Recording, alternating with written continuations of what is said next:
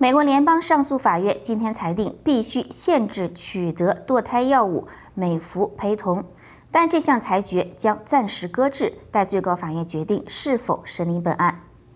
综合法新社和路透社报道，这一项由纽奥尔良联邦第五巡回上诉法院三名法官组成的合议庭所作裁决，会限制只能在怀孕七周内使用堕胎药美孚陪同，而非十周。并阻止透过邮寄方式发放药物。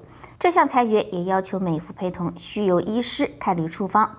美国超过半数的堕胎行为都是使用这款药物。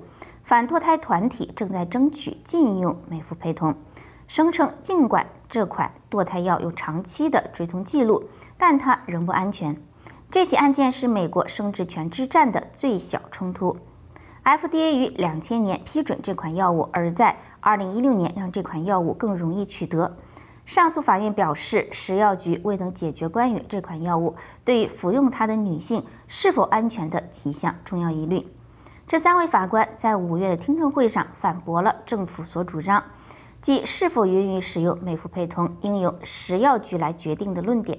最高法院暂时保留了美孚陪同的使用权，冻结了下级法院的裁决。并发回第五巡回上诉法院。第五巡回上诉法院的最新决定将暂时搁置，直到最高法院决定是否审理此案。最高法院可能会在接下来从今年十月份开始到明年的六月结束的庭期审理本案。白宫新闻秘书尚皮耶透过声明表示，第五巡回上诉法院的裁决结果一旦成立，会大幅降低各种女性所取得的医疗照护的能力。并破坏食药局批准安全有效药物具科学性、基于证据的程序。